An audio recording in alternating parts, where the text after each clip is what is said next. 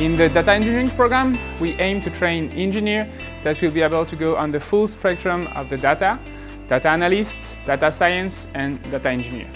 The program is spread on two semesters. In fourth year, we strengthen the base uh, on computer science, in programming, system administration, and databases. In fifth year, we can dive into machine learning from theoretical aspects to implementation in the real companies. And we will have two optional, one that goes on data engineer part for cloud and big data, and one for advanced data science with more mathematical aspects. We have either the project that can be proposed by students of the school, or otherwise we can have uh, clients that can propose us different projects also from their company. My project is on the data visualization project and our goal is to build an interface to visualize the data gathered by the Energy Lab to make them better understanding.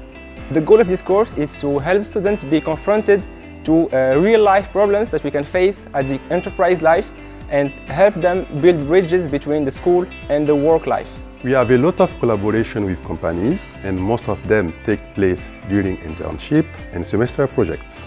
At EPF you can do your internship in France or all over the world. For me, I was fortunate enough to do my internship in San Francisco in a hedge fund. I've made many financial strategies and also I've analyzed a lot of data and it was really interesting.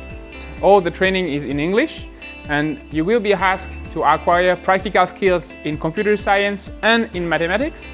We are a young program, but we have a double diploma partnership signed or in course of being signed with Samarkand University and with Strathmore University in Kenya. Among the jobs for which our graduates can apply for, we can mention business analyst, data analyst, machine learning data engineer, and so on and so forth. What I really enjoy in this program is to work with cutting-edge technologies with real knowledgeable professionals and also be surrounded with students who share the same passion as me uh, for technology.